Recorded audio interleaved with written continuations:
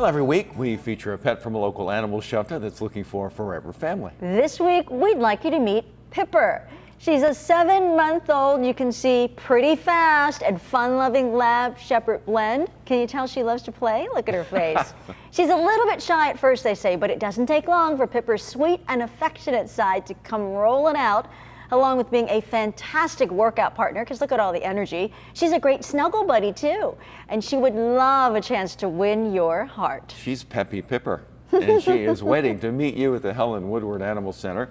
She has been spayed and is up to date on all of her vaccinations. As with all pets adopted from the Helen Woodward Animal Center, she is microchipped for identification. Don't forget, today is National Dog Rescue Day. You can learn more about Pipper and adopting on our Pet of the Week page, 10news.com, under the Exploring San Diego section. She's so bouncy. Yes, she is. Love her.